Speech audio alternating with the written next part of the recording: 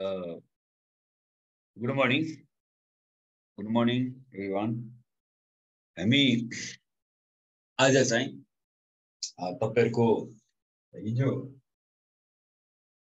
मैले केही च्याट बक्समा केही मेसेज पनि पढेको थिएँ।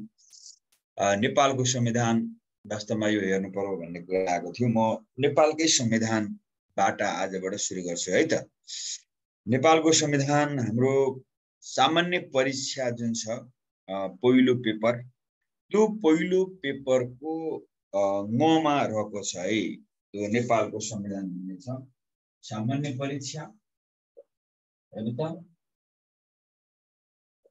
सामान्य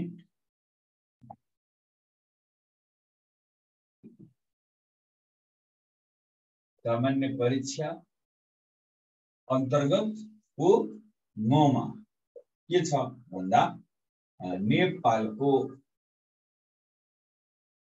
संविधान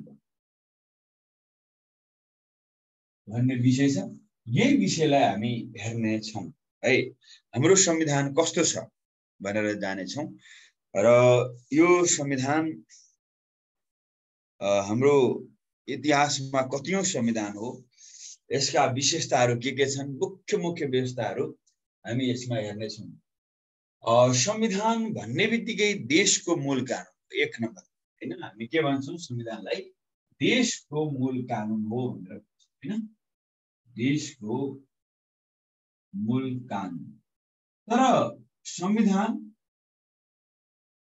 कुन चिज संविधानले पहिलो पटक संविधानलाई देशको मूल कानुन मान त? होइन? यसलाई हामी यसो हेरौँ त। कुन चाहिँ संविधानले संविधानलाई देशको मूल कानुन मानेको थियो। पहिलो पटक लौ त। कुन चाहिँ संविधानले? हजुर। कुन चाहिँ संविधानले संविधानलाई देशको मूल कानुन मानेको थियो भन्ने हो भने त्रिसठी बहत्तर बहत्तर खोइ त खोइ त अन्तरिम सत्तालिस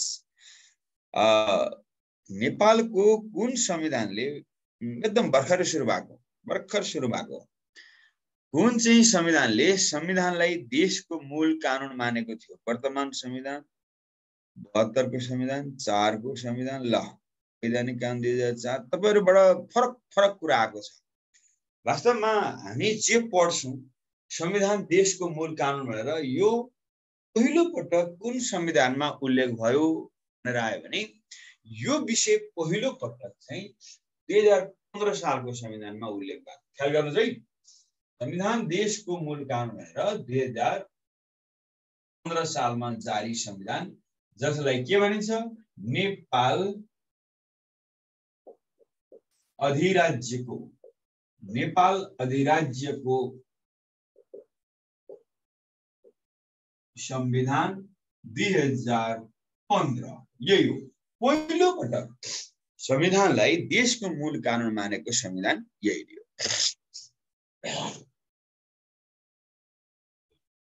नि यसलाई तपाईँले यसरी हेर्नु होला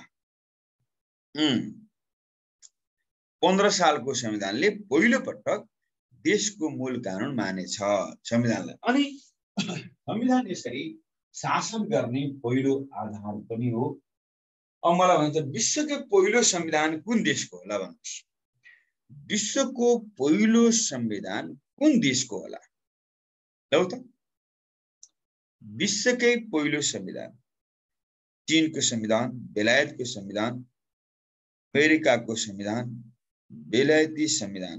हेर्नुहोस् बेलायतमा संविधान नै छैन। त्यहाँको संविधानलाई अलिखित संविधान मानिन्छ। ख्याल गर्नुहोस् है। त्यसैले विश्वको पहिलो लिखित संविधान विश्वको पहिलो लिखित संविधान। कुन हो भनेर आयो भने अमेरिकाको संविधान। अमेरिकी संविधान। हेर्नुहोस् है विश्वकै पहिलो लिखित संविधान अमेरिकी संविधान हो। हेर्नुहोस् है अनि यो संविधान कहिले जारी भएछ ल भन्नुहोस् त। अमेरिकाको संविधान कहिले जारी भएको थियो? लौ त। पहिलो संविधान अमेरिकी संविधान कहिले जारी भएको थियो भन्दाखेरि भन्ने आयो भने यो संविधान चाहिँ सन् सत्र सय उनानब्बेको मार्च चारमा जारी भएको थियो। यो डेटमा यो संविधान जारी भएको थियो। यसरी विश्वकै पहिलो संविधान अमेरिकी संविधान। है सत्र सय उनानब्बे मार्च चारबाट यो जारी भएको थियो मा जारी भएको थियो र विश्वकै पहिलो संविधान मात्रै होइन पहिलो लिखित संविधान पनि यही विश्वको के अरे पुरानो संविधान विश्वकै पहिलो पुरानो भइगयो होइन पुरानो विश्वकै पुरानो संविधान पनि यही त पुरानो संविधान अमेरिकी संविधान विश्वकै पुरानो। अनि विश्वकै सानो ल्याएर विश्वकै सानो संविधान पनि यही अमेरिकी ल्याएर पहिलो भनेपछि पुरानो भइगयो अनि विश्वकै सानो भन्यो भने पनि यही अमेरिकी संविधान।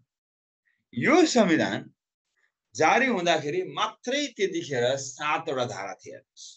यो डेटमा अमेरिकी संविधान जो यो डेटमा जारी थियो यो डेटमा त्यतिखेर यसमा सातवटा धाराहरू थिए। र हाल हाल कतिवटा धारा छन्? हाल बत्तिसवटा धाराहरू छन्। अहिले बत्तिसवटा धारा छन्। यसरी तपाईँहरूलाई अमेरिकी संविधान कस्तो रहेछ भनेर मैले तपाईँलाई यसो चर्चा गरेँ। म अब केही साथीहरू कतिखेर सुरु भयो के भन्दै हुन्छ हेर्नुहोस् है अब। सबै साथीहरूलाई एकचोटि म फेरि रिपिट गर्छु अनि अगाडि बढिहाल्छु है त? यति ख्याल गर्ने। हामी आज चाहिँ सामान्य परीक्षा अन्तर्गत पहिलो पेपरकै पहिलो पेपरको जुन छ सामान्य ज्ञान खण्ड त्यो त्यो त्यसलाई सामान्य परीक्षा भन्छ पहिलो अब्जेक्टिभ क्वेसनवाला त्यसमा क ख ग घ घसम्म छ। ए कमा सामान्य ज्ञान चाहिँ तपाईँले हेरिराख्नु भएको छ। अनि गमा गएर नेपालको संविधान भन्ने छ। हो यही साम नेपालको संविधानलाई अहिले हेरिरहेका छौँ र यसलाई हेर्ने क्रममा मैले सुरुमै के भने संविधान देशको मूल कानुन हो है। यो चाहिँ पहिलोपटक यो पन्ध्र सालको संविधानमा उल्लेख भयो। देशको मूल कानुन भएर संविधान नेपालको मूल कानुन भएर चाहिँ दुई हजार पन्ध्र सालको संविधानमा नेपाल अधिकार संविधान दुई हजार पन्ध्रमा पहिलो पटक उल्लेख भएछ है। अनि विश्वको पहिलो लिखित संविधान कुरो अमेरिकी संविधान सत्र सय उनानब्बेको मार्च चारमा जारी भएको थियो। पहिलो लिखित संविधान भनेको के हो? भन्दा पुरानो संविधान गएको पहिलो भएपछि पुरानो भइगयो विश्वकै पुरानो संविधान अमेरिकी संविधान। होइन त्यति मात्रै होइन। अमेरिकाको संविधान यस्तो संविधान जो विश्वकै सानो संविधान पनि हो। विश्वकै सानो संविधान हेर्नु त। यो संविधान जारी हुँदा जम्मा सातवटा धारा थिए। अहिले बत्तिसवटा धारा छ। यति मैले कुरा मैले राखेँ। यति मैले कुरा राखेँ। त्यसपछि म अब अगाडि बढ्छु है त। ल। ठिक छ? त्यो बुझिराख्नु भएको छ? त्यो बुझ्नुभयो नि? बुझ्नुभयो है? ल। त्यो तपाईँहरूले बुझ्नु भएछ। अब त्यसपछि म अगाडि बढ्छु बढ्छु है त। ल अब म अगाडि बढेँ। म कहाँनिर गएँ भने नेपालको संविधान जहाँको क्रममै म छु संविधान सभाबाट संविधान बनाउने पहिलो देश चाहिँ कुन होला लौ त। संविधान संविधान सभाबाट संविधान बनाउने यो विश्वको पहिलो देश कुन हो? संविधान सभाबाट संविधान बनाउने पहिलो देश हो फ्रान्स। फ्रान्स। संविधान सभाबाट संविधान बनाउने विश्वको पहिलो देश फ्रान्स हो। यसलाई यसरी ख्याल गर्ने।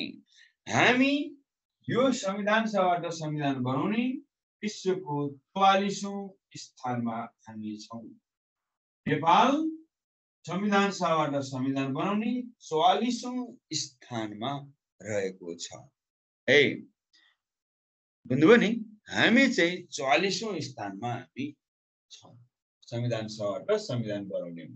फ्रान्स पहिलो हामी चौवालिस। दर्ता नम्बर चौवालिस हो हामी किनभने हामीले बनाएको यो संविधान संविधान सभाबाट हो। त्यसैले नेपाल संविधान सभाबाट संविधान बनाउने चौवालिसौँ स्थान पहिलो फ्रान्स। है? यति कुरा मैले तपाईँलाई राखेँ।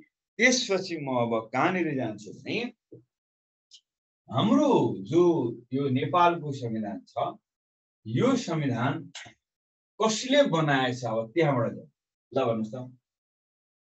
नेपालको संविधान कसले बनायो? ल त। तपाईँलाई म यहाँबाट म सुरु गर्छु। ल भन्नुहोस्। यो संविधानलाई कसले बनाएको? नेपालको संविधानलाई कसले बनायो? संविधान सभाले बनायो। एकदम ठिक। यो संविधान बनाउने संविधान सभा नेपालको इतिहासमै संविधान सभाले बनाएको यही त हो संविधान सभाले बनायो होइन? अनि संविधान सभाले बनाएछ। अब तपाईँहरूलाई यति कुरा मैले राखेँ। हाम्रो पटक पटकको हाम्रो इच्छा थियो। संविधान सभाबाट चाहिँ संविधान बनाउने होइन? हाम्रो इच्छा थियो। पहिलेदेखि नै सात सालदेखिको इच्छा थियो। जनताबाट निर्वाचित प्रतिनिधिहरूबाटै संविधान बनाउने हाम्रो एकदमै इच्छा थियो। त्यो इच्छा बल्ल पुरा। अब यो चाहिँ यसरी नेपालको संविधान कसले बनायो भनेर तपाईँलाई क्वेसन आयो भने संविधान सभाले बनायो भन्नुपर्छ है यसको नाम चाहिँ के होला ल भन्नुहोस् त? यसको नाम के होला भन्नु? यो हाम्रो संविधान जुन छ अहिलेको यसको खास नाम के होला यसको खास नाम नेपालको संविधान नै हो कि अरू केही नाम छ यसको? ल भन्नुहोस् त। नेपालको संविधान नेपालको संविधान नै हो। एकदम ठिक ठिक। यसको खास नामै यही हो यही हो। नेपालको संविधान नै हो। खास नाम। किनभने यसको नाम पछाडि सम्मत छैन। तपाईँलाई कहीँ कतै देख्नुभयो तपाईँले हेर्नुहोस् त। नेपालको अनि संविधान होइन? अनि दुई हजार बहत्तर लेखेको कहीँ कतै देख्नुभयो तपाईँले लेख्नुभयो इनकेस नै? त्यो चाहिँ त्यो चाहिँ फेरि मिल्दैन हेर्नुहोस् मिल्दैन। एकजना साथीले शैलेन्द्रजीले त्यो लेखि पनि सक्नु भएको छ। शैलेन्द्रजीले लेख्नुभयो त्यो चाहिँ मिल्दैन। मिल्दैन। किनभने संविधानको खास नाम नै के हो? यही नेपालको संविधान हो। यो लेखियो भने वास्तवमा संविधान त मिल्दैन। तपाईँले संविधानलाई राम्ररी हेर्नु भएको छैन भन्ने बुझिन्छ है? ख्याल गर्ने। त्यसैले यो संविधानको शुद्ध तरिकाले तपाईँलाई नाम लेख्दा नेपालकै संविधान भन्नुपर्छ नाम पछाडि सम्बत छैन। नेपालको इतिहासमा नाम पछाडि सम्मत उल्लेख नभएको संविधान यही नै हो। यही नै हो। ख्याल गर्नुहोस् है। आफ्नो नाम पछाडि सम्मत उल्लेख नभएको संविधान यही नै हो ल यति कुरा तपाईँले मैले तपाईँलाई राखेँ अनि अब म यसरी तपाईँले यसलाई किनभने हाम्रा संविधानहरू यसो विचार गरौँ न पहिलो संविधानको नाम के हो भन्दा नेपाल सरकार वैधानिक कानुन दुई हजार चार हाम्रो पहिलो संविधान? त्यो संविधानको पछाडि सम्मत छँदैछ। दोस्रो संविधान नेपालको अन्तरिम शासन विधान दुई हजार सात पनि पछाडि छ। तेस्रो संविधान क्रमशः हाम्रो संविधानको नाम लेख्छु ल। किन तपाईँलाई कहिलेकाहीँ यस्ता कुराहरू पनि आउन सक्छ। त्यसैले म हाम्रा संविधानहरूको नाम सर एकचोटिमा आउँछु ल। ल नेपालमा कस्ता कस्ता संविधानहरू जारी भएछ भनेर एकचोटिमा जाउँ त। किनभने तपाईँलाई हाम्रो यो संविधानको अवस्था के हो भनेर बुझ्नको लागि इतिहास पनि थाहा पाउनु पऱ्यो हेर्नुहोस्।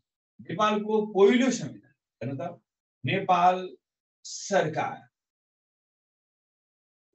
नेपाल सरकार वैधानिक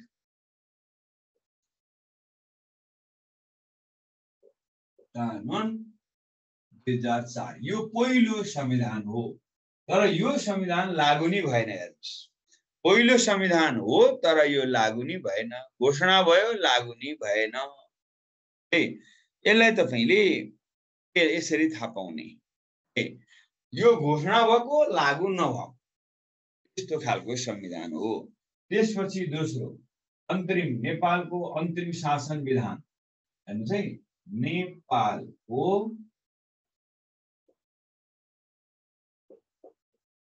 अन्तरिम शासन विधान दुई हज़ार सात। संविधान है। तेस्रोमा नेपाल अधिराज्य। नेपाल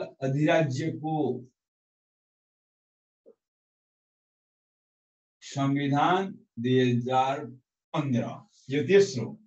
चौथो संविधान नेपालको नेपालको संविधान दुई हजार उन्नाइस यो चौथो संविधान पाँचौं। नेपाल नेपाल अधिराज्य। नेपाल अधिराज्यको संविधान दुई हजार सत्तालिस। अब सत्तालिसकोमा हामी गयौँ। नेपाल संविधान दुई हजार सत्तालिस। छैठौँ संविधान। नेपालको अन्तरिम संविधान दुई हजार त्रिसठी सातौं संविधान। नेपालको संविधान। ल हेर्नुहोस्। सक्यो। नेपालको संविधान हेर्नुहोस् है पछाडि सम्मत छैन। सातौंमा आएर सम्मत छैन। त्यसैले नेपालको संविधान कतिौँ संविधान हो? सातौं संविधान। है यसलाई तपाईँले यसरी यसलाई तपाईँले यसलाई गर्ने है त। यसरी अहिलेको संविधानको नाम के रहेछ? नेपालको संविधान। यो नेपालको संवैधानिक इतिहासमा कतिौँ रहेछ यो सातौं संविधान। ख्याल गर्नुहोस् है यो सातौँमा पर्दो रहेछ। काहीँ सोध्छ कति हो भनेर? सातौँ भनेर हामीले यसलाई सम्झिने है त? अनि अर्को तपाईँहरूलाई म कहाँनिर गएँ भने यसको नाम नेपालको संविधान हो भनेर कहाँ लेखिएको छ? ल भन्नुहोस् त। लौ त। यो संविधानको नाम चाहिँ नेपालको संविधान हो भनेर कहाँ लेखिया छ? इन्द्रजितजीले ठिक भन्नुभयो तिन सय सात धारा तिन सय सात नलेख्ने नलेख्ने नलेख्ने। केबीजी बहत्तर नलेख्ने है? बहत्तर नलेख्ने किनभने यही हो यसको नामै यही हो। यति कुरा मैले तपाईँलाई अघिदेखि राखिरहेको छु। नामै नेपालको हो। यसको यो कहाँ लेखिएको छ? तपाईँलाई प्रमाण चाहियो भने हेर्नुहोस्। यो नाम नेपालको संविधान हो यसको नाम यो हो भनेर कहाँ लेखियो? आयो भने यसको कुन रहेछ जन्म कुण्डली कहाँ छ भनेर सोध्यो भने तपाईँले यसको जन्म कुण्डली चाहिँ यसको कहाँ छ भन्दा धारा तिन सौ सातको उपधारा एकमा हेर्नुहोस् है। धारा तिन सय सातको उपधारा एकमा लेखिएको छ। यस संविधानलाई नेपालको संविधान भनिनेछ त्यही लेखिएको छ। फेरि पहिले त्यो कार्यान्वयन भएकोले यसको पछाडि बहत्तर। लेखिएको छैन। सम्झिनुहोस् है। कहाँ लेखेको छ यो यसको नाम? नाम कहाँ उल्लेख छ भन्दा धारा तिन सय सातको धारा एकमा यसको नाम उल्लेख छ। र यो संविधान कहिलेबाट लागू भयो भन्दा? यो संविधान लागू कहिलेबाट भयो? दुई हजार बहत्तर असोजको तिन गतिबाट लागू रहेको छ हेर्नुहोस् है। नेपालको संविधान बहत्तर साल असोज तिनबाट लागू छ। ल भने यो विषय कहाँ लेखिएको छ? ल भन्नुहोस् त। त। त। नेपालको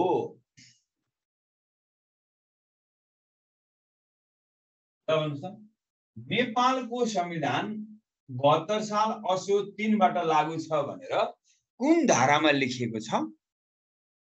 कुन धारामा? हो यो कुन धारामा लेखिएको छ भने यहाँ धारा तिन सौ सातको उपधारा दुईमा लेखिएको छ।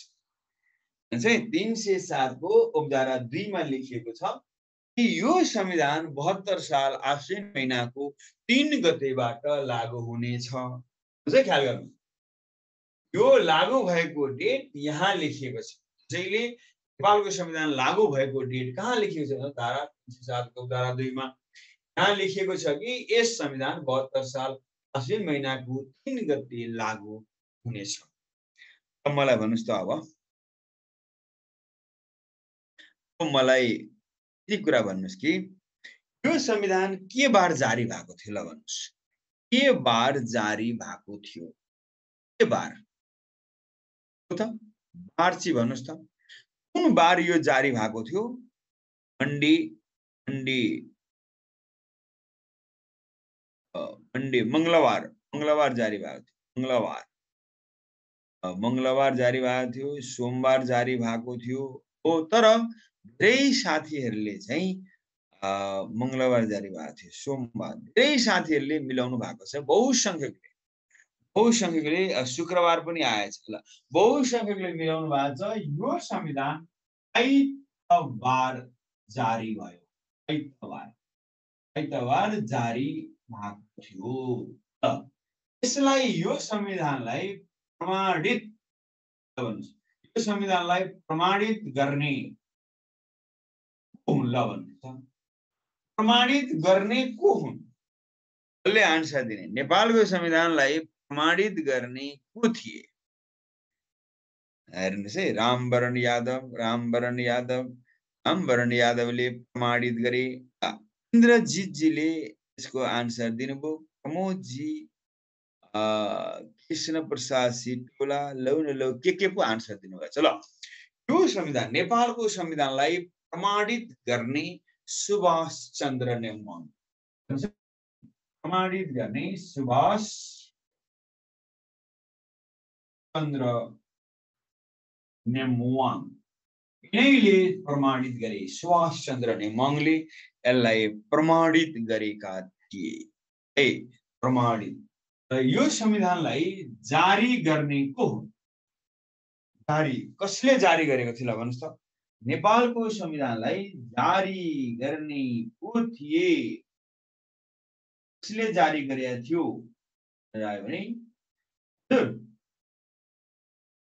जारी गर्ने वाले, हजुर। जारी गर्ने राष्ट्रपति रामवरण यादव। जारी गर्ने राष्ट्रपति डाक्टर रामवरण यादव। रामवरण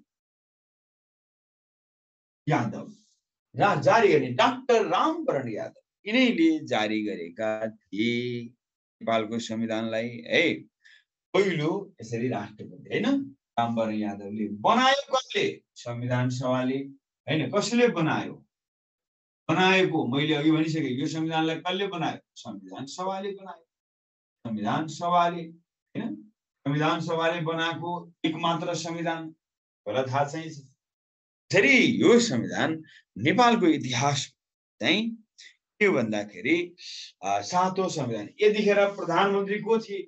यो संविधान यो डेटमा जारी हुँदा त्यो बेला प्रधानमन्त्री को थिए। प्रधानमन्त्री को थिए भन्दा सुशील कोइराला थिए। त्यो बेला प्रधानमन्त्री सुशील कोइराला थिए। सुशील कोइराला प्रधानमन्त्री थिए, होइन?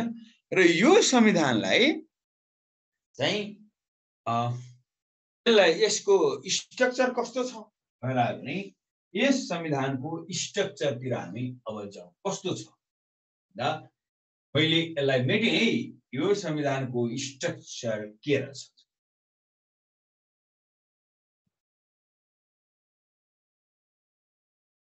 यो संविधानमा संविधानमा भाग यस्तो भाग। कति छ भाग कति छन् भाग पैँतिस, ठिक, भाग पैँतिस पैँतिसवटा भाग। धारा धारा तिन सौ आठ। अनि अनुसूची अनुसूची नौ। यसरी यसको अवस्था यही छ। अनुसूची नौ होइन भाग पैँतिस धारा तिन सौ आठ अनुसूची नौ यसरी यसको अवस्था यसरी छ अब यति कुरा मैले तपाईँलाई भने भनिसकेपछि म अब कहाँनिर जान्छु भने एकजना साथीले सुशील कोइरालाको डेथ कहिले भएको थियो भन्नुभयो सुशील कोइरालाको डेथ कहिले भयो भनेर उहाँले सोध्नु भएको छ। सुशील कोइराला दुई हजार बहत्तर साल अनि माघको छब्बिस गते सुशील कोइरालाको डेथ भएछ। बहत्तर साल माघ छब्बिस गति सुशील कोइरालाको यसरी डेथ भएको थियो।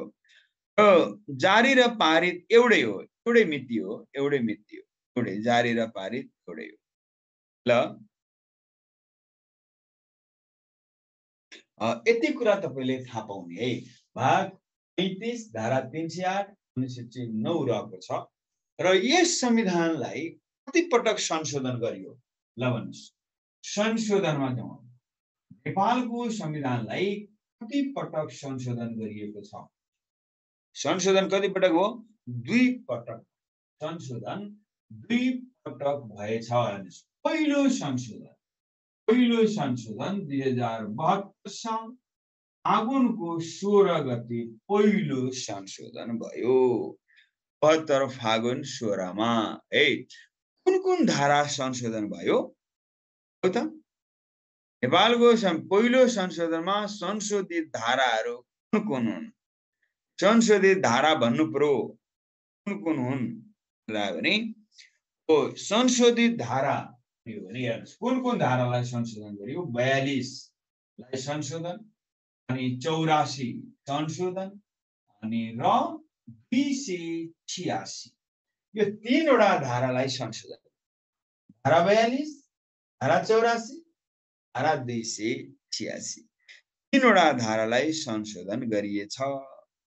हेर्नु चाहिँ धारा बयालिसमा के उल्लेख छ? धारा बयालिसमा के कुरा उल्लेख छ भनेर भनियो भने अब हामीलाई त्यो तिनवटा धारालाई संशोधन गरिएको छ एउटा धारा बयालिसलाई संशोधन गरियो धारा बयालिस अर्को धारा चौरासीलाई संशोधन गरियो अनि अर्को धारा दुई सय छियासीलाई संशोधन गरियो यो तिनवटा धारालाई संशोधन गरियो। वास्तवमा के संशोधन गरियो भन्दा धारा बयालिसमा के छ भन्दा सामाजिक न्यायको हक छ। सामाजिक न्यायको हक। धारा बयालिसमा। सामाजिक न्यायको हकमा संशोधन भयो। हेर्नुहोस् है यहाँनिर। सामाजिक न्याय न्यायको हकमा संशोधन भयो। के कुरा राखियो त ल भन्नुहोस् त। सामाजिक न्यायको हकमा के कुरा थप भयो? ल भन्नुहोस् त। थप भएको कुरा। हजुर। समावेशी के चाहिँ कुरा चाहिँ थप भयो भन्दा समानुपातिक। एकजना साथीले यहाँ लेख्नु भएको छ समानुपातिक भन्ने शब्द थप भएको यहाँनिर सामाजिक न्यायको हक संशोधन भयो यहाँ के कुरा राखियो भने समानुपातिक समानुपातिक भन्ने शब्द राखियो होइन समावेशी सिद्धान्तको अगाडि समानुपातिक शब्द राखेर समानुपातिक समावेशी सिद्धान्त भनेर यसरी राखियो अब भएको यति मात्रै हो समानुपातिक है अनि यहाँ धारा चौरासीमा चाहिँ के कुरा उल्लेख छ भन्दा प्रतिनिधि सभाको गठन। हेर्नुहोस् प्रतिनिधि सभाको प्रतिनिधि सभाको गठन भनेर यहाँ उल्लेख छ।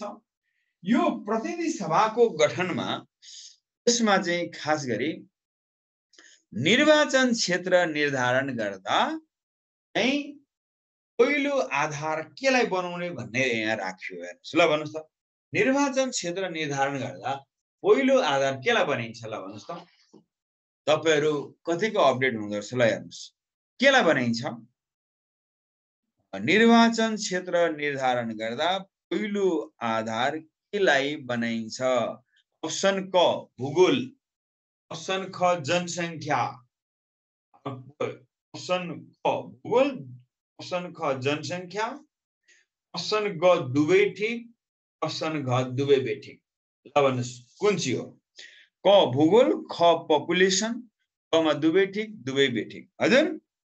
पहिलो आधार चाहिँ चाहिँ वास्तवमा पहिलो आधार जनसङ्ख्यालाई बनाइन्छ। यही विषय राख्यो। निर्वाचन क्षेत्र निर्धारण गर्दा पहिलो प्रायोरिटी जनसङ्ख्यालाई दिने। यहाँ राखियो। पहिलो हामी जनसङ्ख्यालाई दिन्छौँ। यही विषय यहाँ राख्यो है राख्यो जनसङ्ख्यालाई दिने निर्वाचन क्षेत्र निर्धारण गर्दा चाहिँ जनसङ्ख्यालाई पहिलो प्राथमिकतामा राख्नुपर्छ किनभने जनसङ्ख्या अनुसार नै निर्वाचन क्षेत्र निर्धारण गर्ने अनि भूगोल हेर्नुहोस् है जनसङ्ख्यालाई चाहिँ कति पर्सेन्ट जनसङ्ख्या नब्बे पर्सेन्ट जनसङ्ख्यालाई आधार बनाउने अनि भूगोललाई चाहिँ कति पर्सेन्ट भन्दा भूगोललाई दस पर्सेन्ट आधार बनाउने भूगोललाई है। त्यसैले त त्यसैले त हाम्रा निर्वाचन क्षेत्रहरू धेरै घटे नि। मलाई थाहा छ नि होइन हुनु त? जस्तै हिमालतिर निर्वाचन क्षेत्र हिमाल र पहाडमा सर्लक्कै घट्यो हेर्नुहोस् निर्वाचन जस्तै है तपाईँलाई एउटा उदाहरण म दिन्छु। सायद मैले कहिले कहीँ कतै चर्चा पनि गरेको थिएँ होला। एउटा मात्रै निर्वाचन क्षेत्र भएका जिल्लाहरू मलाई भन्नुहोस् त कतिवटा छन्? एउटा निर्वाचन क्षेत्र भएका जिल्ला नेपालमा कतिवटा छ? यसको आन्सर ट्वाक्कै दिनुहोस् त। कतिवटा जिल्लामा एउटा मात्रै निर्वाचन क्षेत्र छ? राजनजीले आन्सर ट्याक्कै दिनुभएको छ है। राजनजीहरूको को साथी जयजी जयजी गणेशजी ल। अनि त्यसपछि ठिक छ। एउटा मात्रै निर्वाचन क्षेत्र भएका जिल्लाहरू नेपालमा पैँतिसवटा छ। पैँतिसवटा जिल्ला एउटा मात्रै निर्वाचन क्षेत्र। यो सर्लकै घटेको हो नि त। जनसङ्ख्यालाई पहिलो आधार मान्दा जनसङ्ख्या के अरे निर्वाचन क्षेत्र घटो। अब दुईवटा सबै विवरण भनिदिनु भन्नुभएको छ एकजना शान्त अरियालजीले एउटा मात्रै निर्वाचन क्षेत्र भएको जिल्ला चाहिँ पैँतिसवटा र छ। दुईवटा हेर्नुहोस् दुईवटा निर्वाचन क्षेत्र भएका जिल्लाहरू एक्काइसवटा छ एक्काइस जिल्लामा दुईवटा निर्वाचन क्षेत्र छ हेर्नुहोस् है अब। अनि तिनवटा तिनवटा निर्वाचन क्षेत्र भएका जिल्लाहरू सातवटा छन्। तिनवटा सात। ल हेर्नुहोस् त तिन निर्वाचन क्षेत्र भएका सात। चारवटा निर्वाचन क्षेत्र भएका जिल्लाहरू कतिवटा? नौवटा नौवटा छ। हेर्नु त नौवटा। अनि त्यसपछि गएर त्यसपछि मैले यहाँ लेखेँ है। पाँचवटा निर्वाचन क्षेत्र भएका जिल्लाहरू तिनवटा। त्यही हो नि झापा रूपन्देही कैलाली। अनि छवटा निर्वाचन क्षेत्र भएको जिल्ला एउटै छ। मोरङ मोरङ एउटै। अनि दसवटा निर्वाचन क्षेत्र भएको जिल्ला एउटै हो त्यो हो काठमाडौँ। दसवटा भएको एक काठमाडौँ। यसरी मैले तपाईँलाई भनिसकेँ हेर्नुहोस्। तिनवटा निर्वाचन क्षेत्र भएको जिल्ला सात आठवटा निर्वाचन क्षेत्र भएका जिल्लाहरू नौवटा पाँचवटा निर्वाचन क्षेत्र भएका जिल्ला तिनवटा छवटा निर्वाचन क्षेत्र भएको जिल्ला एउटै हो मोर दसवटा भएको एउटै हो काठमाडौँ। दसवटा भएको काठमाडौँ है? ल यति कुरा मैले तपाईँलाई राखेँ। यही हो। यो हामीलाई यो किन यस्तो भयो भन्दा जनसङ्ख्यालाई पहिलो यसरी आधार मान्दा ए निर्वाचन क्षेत्र निर्धारण गर्दा जनसङ्ख्यालाई पहिलो आधार मान्दा हाम्रा निर्वाचन क्षेत्रहरू पहाड र हिरमालमा सर्लक्कै घटेछ। यसरी उमेर अठार हो नि इन्द्रजितजी अठार हो। अठार वर्ष। अनि अब यसमा के लेख्यो भन्दा यही कुरा लेख्यो। धारा दुई सय छियासीमा के छ? निर्वाचन क्षेत्र निर्धारण आयोगको उल्लेख छ। निर्वाचन यो यो चाहिँ धारामा के छ उल्लेख भन्दा निर्वाचन क्षेत्र अनि निर्धारण आयोग। निर्वाचन क्षेत्र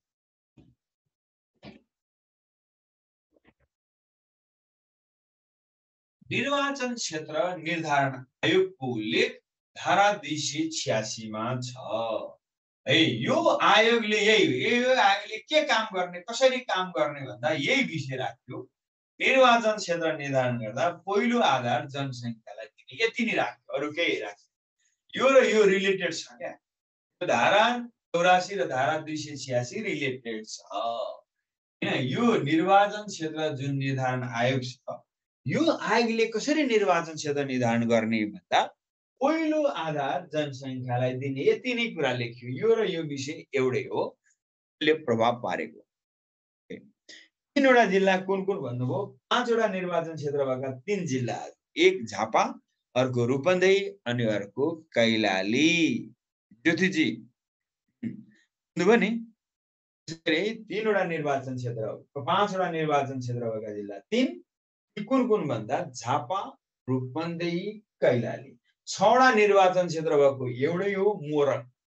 तराईमा धेरै निर्वाचन क्षेत्र भएको जिल्ला मोरङ हो। दसवटा निर्वाचन क्षेत्र भएको जिल्ला एउटै त्यो हो काठमाडौँ।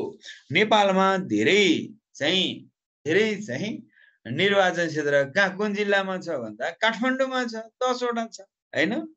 कुमारीजीले के सोध्नुभयो? अध्यक्ष को हुन्छ भन्नुभयो? निर्वाचन क्षेत्र निर्धारण आयोगको बारेमा हामी डिटेलमै चर्चा गर्छौँ चिन्ता नगर्नुहोस्। अब यही पार्टमा हामी जाँदैछौँ। यो पाँच सदस्य हुन्छ निर्वाचन क्षेत्र निर्धारण आयोग। है यसका अध्यक्ष सर्वोच्च आयोगका सेवानिवृत्त न्यायाधीश हुन्छन्। ए ल ल ल। अब के पो सोध्नुभयो? बागमती प्रदेशमा होइन नेपालको भूगोलमा त आइहाल्छ नि। बागमती प्रदेशमा सबभन्दा धेरै निर्वाचन क्षेत्रहरू छन्। कतिवटा त छन् भन्दाखेरि यहाँ तैतिसवटा छ। बागमती प्रदेश नेपालमा धेरै निर्वाचन क्षेत्र भएको प्रदेश जहाँ तैतिसवटा थर्टी थ्री निर्वाचन क्षेत्रहरू छन्। धारा दुई सय छियासीको नाम धारा दुई सय छियासी मैले भने निर्वाचन क्षेत्र निर्धारण आयोग यही विषय त्यहाँ उल्लेख छ।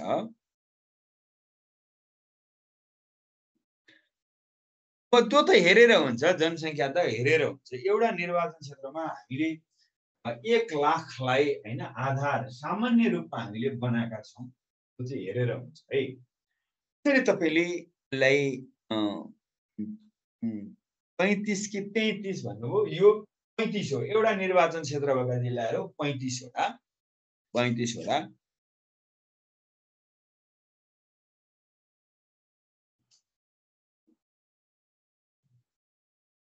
ल म अब अगाडि बढ्छु। यी तिनवटा धारालाई यसरी पहिलो संशोधनमा संशोधन गरिएछ। यति कुरामा राख्दै अब म दोस्रो पटक संशोधनमा गरेँ नेपालको संविधानको दोस्रो संशोधन त अस्ति भर्खर नै भएको होइन? नक्सालाई लिएर भएको छ। यो मैले के भन्नु पर्यो र हेर्नुहोस् न दोस्रो संशोधन। नेपालको संविधानको दोस्रो संशोधन भन्दाखेरि कहिले भयो भन्दा दुई हजार सत्तर साल असाढको चार गते यो यो दिन दोस्रो संशोधन भयो। के संशोधन भयो भन्दा निशान छाप। निशान छापलाई संशोधन गरे अनुसूची तिन यो कहाँ छ? अनुसूची तिन। अनुसूची तिनमा रहेको निशान छाप संशोधन भयो। त्यो चुच्चो नक्सा यहाँ राखियो। यति नै कुरा हो। चुच्चो नक्सा राखियो होइन? चुच्चो नक्सा राखियो। छवटा निर्वाचन क्षेत्र भएको जिल्ला एउटै हो मोरङ। हो मोरङ दिलबहादुरजी मोरङ राईको सबभन्दा धेरै निर्वाचन क्षेत्र भएको जिल्ला मोरङ। यहाँ छवटा छ। गण्डकी प्रदेशले भारतको सीमा छुन्छ कि छुँदैन। भारतलाई छुन्छ गण्डकीले मजाले छुन्छ। अलिकति छाइदिएको छ त्यहाँ है? छुन्छ। बागमतीमा बागमतीमा तेत्तिस हो तेत्तिस होइन तेत्तिस थर्टी थ्री सरा। अब त्यसपछि म अगाडि बढ्छु। यसरी दुई पटक यो संविधान संशोधन भएको रहेछ है। यति मैले जम्मा निर्वाचन क्षेत्र एक सय पैँसठी अहिले आइयो नि। नेपालमा निर्वाचन क्षेत्र कतिवटा छन्? एक सय पैँसठीवटा निर्वाचन क्षेत्र छ। निर्वाचन क्षेत्रको सङ्ख्या एक सय पैँसठीवटा छ टोटल। है?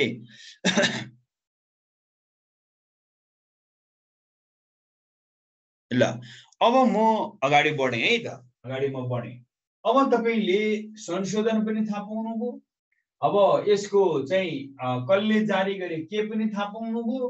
अब यो बारेमा अब हामी अगाडि बढ्नेछौँ। सबभन्दा पहिले आज चाहिँ हामी कहाँबाट अब अर्को प्रवेश गर्छौँ भन्दा अनुसूचीबाट प्रवेश गर्नेछौँ। हो दोस्रो संशोधनमा त्यही हो नक्सालाई लिएर भएको र यसमा लिपुलेक लिम्पियाधुरा अनि कालापानी यो तिनवटा कालापानी पनि हो। है कालापानी हो। सचिदाजी कालापानी लिपुलेक लिम्पियाधुरा र कालापानीलाई समेटेर हामीले उच्च नक्सा यसरी बनायौँ त्यही संविधानमा राख्यौँ। त्यही दोस्रो संशोधन है।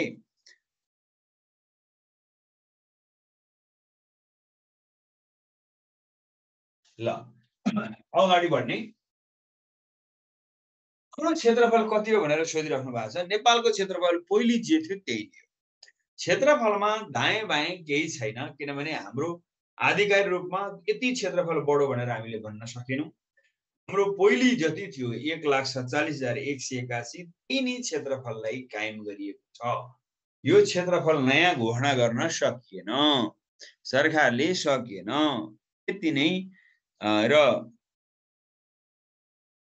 ल अगाडि बढ्ने।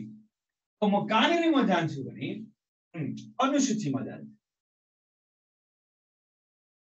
अनुसूचीलाई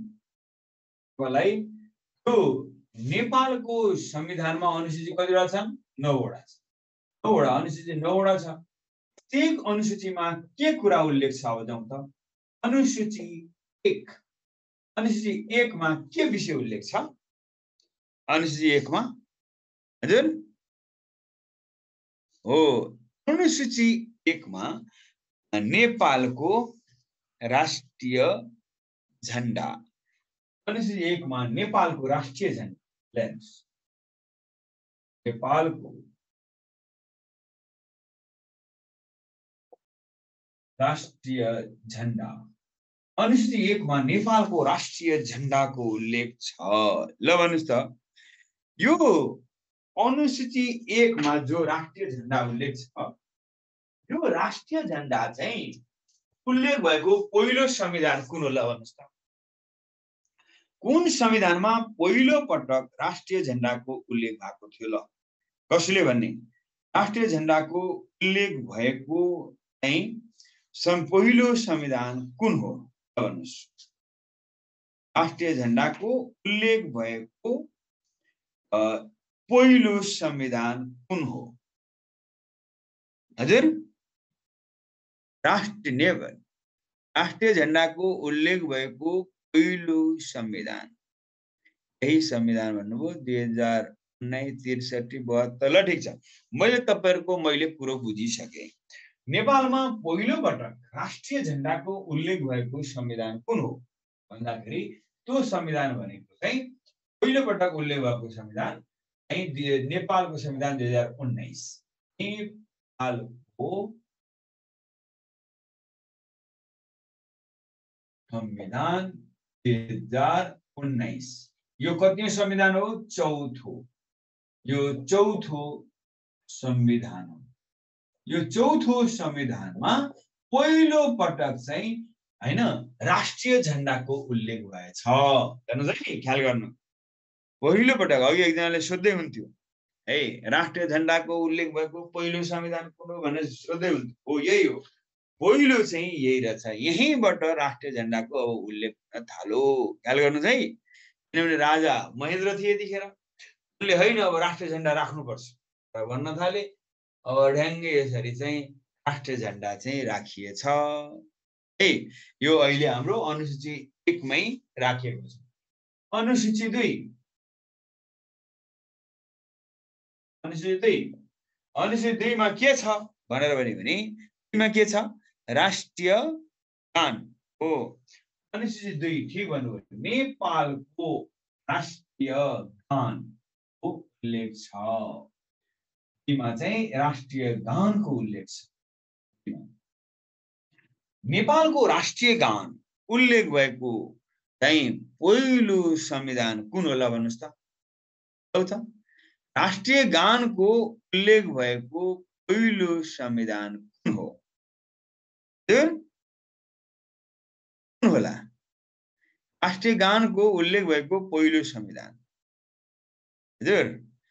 होइन यही नै हो यही नै। राष्ट्रिय गानको उल्लेख भएको पहिलो संविधान पनि यही हो। नेपाल संविधान दुई हजार उन्नाइस यो चौथो संविधान यही हो। यही नै संविधानमा पहिलो पटक राष्ट्रिय गानको उल्लेख भयो उन्नाइसकै संविधानमा। ए त्यतिखेरको राष्ट्रिय गान कुन थियो? श्रीमान गम्भीर प्रचण्ड प्रतापी भूपत। होइन बुझ्नु भएको छ नि श्रीमान गम्भीर प्रचण्ड प्रतापी भूपत। यसरी उल्लेख गरियो त्यतिखेर र अहिलेको राष्ट्रिय गानको नाम के होला भन्नुहोस् त? हालको राष्ट्रिय गान सयौँ थुङ्गा फुलका हामी। सयौँ थुङ्गा फुलका हामी अहिलेको राष्ट्रिय गान कहिलेबाट बज्न थाले हो? हालको राष्ट्रिय गान कहिलेबाट बज्न थाले हो? लौ त लौ त। कहिलेबाट बज्न थाले हो? डेट पुरा डेट भन्नुहोस् फुल डेट कल्पनाजीले ठ्याक्कै आन्सर दिनुभएको छ। कल्पनाजी तेजबहादुरजी प्रेमजी ल ठिक छ। अहिलेको राष्ट्रिय गान हामी भन्छौँ नि सयौँ फुल सयौँ थुङ्गा फुलका हामी हो। यो राष्ट्रिय गान चाहिँ कहिलेबाट बज्न सुरु गर्यो भन्दा हजार चौसठी साल साउन अठारबाट बज्न सुरु भयो। यही डेटबाट यो बज्न सुरु भएछ।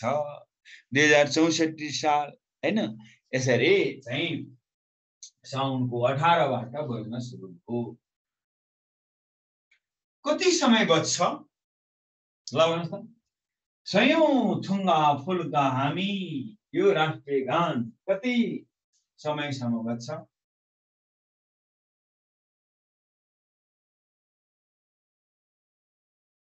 कति समयसम्म बज्छ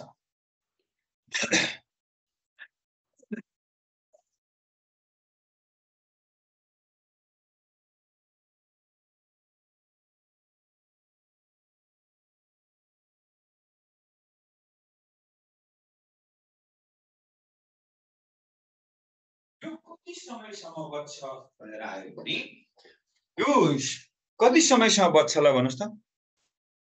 एक मिनट एक मिनट पाँच सेकेन्ड हेर्नुहोस् नेपालको राष्ट्रिय गान एक मिनट पाँच सेकेन्डसम्म यो बज्छ एक मिनट पाँच सेकेन्ड र यसमा कति अक्षरहरू छन् ल भन्नुहोस्? अक्षर। नेपालको राष्ट्रिय गानमा कति अक्षरहरू छन्? अक्षर भन्नु त।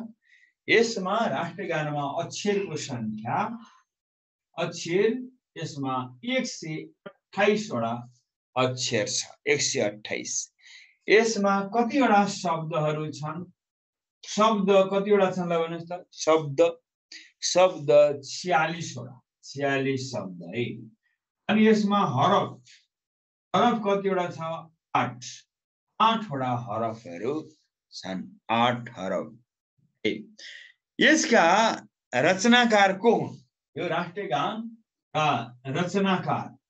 रचनाकार को हुन् किनभने व्याकुल माइला व्याकुल माइला रचनाकार हुन् व्याकुल माइला व्याकुल माइलाको खास नाम के हो भन्दा प्रदीप कुमार राय। प्रदीप कुमार राय। खास नाम हो प्रदीप कुमार राई यिनैले यसको रचना गरेका थिए। ओखलडुङ्गे ओखलडुङ्गे यसको सङ्गीतकार राष्ट्रिय गानका सङ्गीतकार को हुन् भन्दाखेरि अमर अमर गुरुङ यसका सङ्गीतकार अमर अम्बर गुरुङ अम्बर सङ्गीतकार अम्बर गुरुङ यसरी यो नेपालको राष्ट्रिय गान। छनौट समितिका अध्यक्ष को थिए होला भन्नुहोस् त यो राष्ट्रिय गान छनौट गर्नलाई एउटा टिम बनेको थियो हेर्नुहोस्। त्यो टिमले यसलाई छनौट गरेको छ। ल राष्ट्रिय गान छनौट समितिका अध्यक्ष को थिए? हजुर?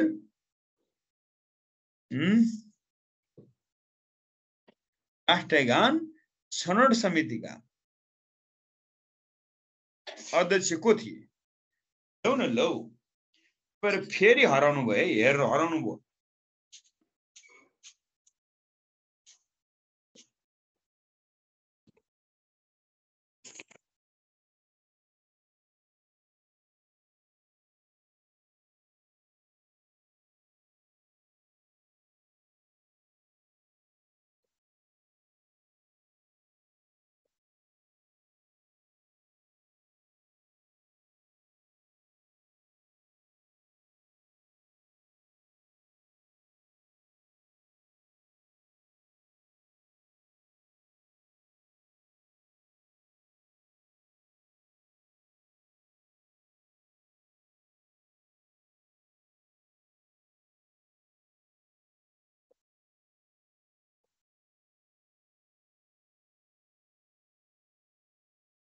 स्वर कतिजनाको थियो? बिसजनाको बिसजनाको स्वर रहेको थियो ए कतिजना भनेर हो? धेरैजना छ होइन? कसको भन्ने कुरा आएर बिसजनाले स्वर देखा हुन् यो राष्ट्रिय गानमा है।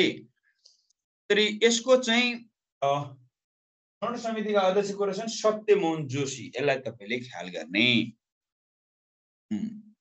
एक मिनट पाँच सेकेन्ड। एक मिनट पाँच सेकेन्ड बज्छ राष्ट्रिय गान।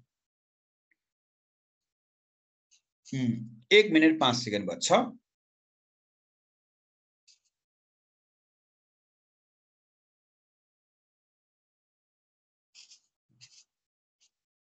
ल। यति कुरा मैले तपाईँलाई राष्ट्रिय गानको बारेमा राखेँ। अब अनुसूची अर्कोमा जाउँ अनुसूची तिन। तिनमा के छ? नेपालको निशान छ। नेपालको निशान छाप। नेपालको निशान छाप हेर्नुहोस् है अनुसूची यो चाहिँ तिनमा रहेको छ निशान छाप। नेपालको निशान छाप वास्तवमा यो दोस्रो संशोधनमा संशोधन भएको यही हो। ल निशान छाप कहिलेबाट लागु छ? नेपालको निशान छाप कहिलेबाट लागु छ यति भनिदिनुहोस् त। कुन डेटबाट लागु छ। भने अहिलेको निशान छाप हालको निशान छाप चाहिँ कहिलेबाट लागु छ। यो निशान छाप उल्लेख भएको संविधान पनि यही है पहिलो उन्नाइस सालको यो चौथो संविधान। ने नेपालको निशान छाप उल्लेख भएको पहिलो संविधान नै नेपालको संविधान दुई हजार उन्नाइस हो। र यो निशान छाप हालको निशान छाप चाहिँ दुई हजार त्रिसठी साल पौषको पन्ध्रबाट लागु छ। पन्ध्रबाट लागु। हालको निशान छाप लागु भएको डेट ख्याल गर्नुहोस्। यो चाहिँ दुई हजार त्रिसठी पौष पन्ध्रबाट लागु छ र नेपालमा निशान छाप लागु भएको पहिलो संविधान नै चौथो संविधान रहेछ मैले त्यही यो तिनवटा कुरा यही संविधानमा पहिलोपल्ट राखियो राष्ट्रिय झन्डा पनि राष्ट्रिय गान पनि निशान छाप पनि यही नेपालको संविधान दुई हजार उन्नाइसमा राखियो। तपाईँले ख्याल गर्ने है त। कुरो बुझ्नुभयो नि? हजुर?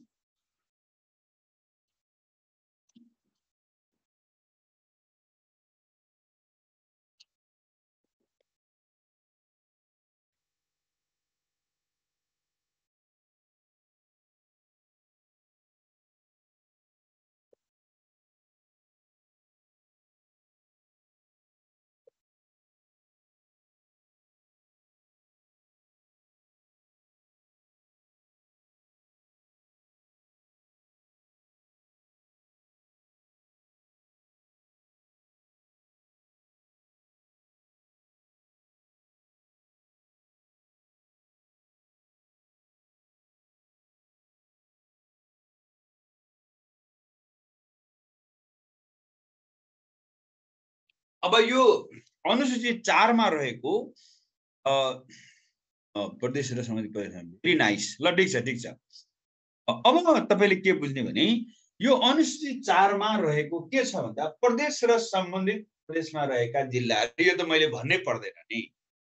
पढिरहेका छौँ नेपालको भूगोलमा पनि हेऱ्यौँ। कुन प्रदेशमा कति जिल्ला छन् हामी हेर्नु त सम्बन्धित प्रदेशमा रहेका जिल्ला सबै थाहा छ। एक नम्बर प्रदेशमा चौधवटा जिल्ला दुईमा प्रदेशमा कतिवटा छ आठवटा। बागमतीमा तेह्रवटा गण्डकीमा एघारवटा लुम्बिनीमा बाह्रवटा कर्णालीमा दसवटा सुदूरपश्चिममा नौवटा। हो यही भन्न खोजे। प्रदेश र सम्बन्धित प्रदेशमा रहेका जिल्लाहरू अनुसूची चारमा यो कुरो उल्लेख छ। भएको छ नि? क्लियर छ छैन ल भन्नुहोस्।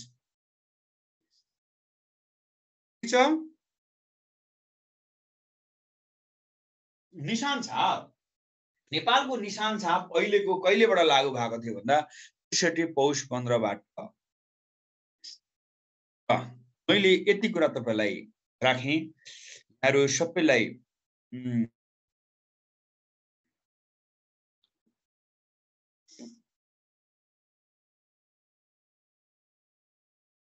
जिल्लाहरू। ल ल। मैले अब धन्यवाद नै दिएँ है। तपाईँलाई। अब चाहिँ हामी भोलि थप कुरा हामी गर्नेछौँ है त? एकदम। यहाँहरू सबैलाई धन्यवाद दिँदै। भोलि यही समयमा भेट्ने चाहना प्रकट गर्दै यहाँहरूको दिन शुभ रहोस्। Thank you thank you very much thank you thank you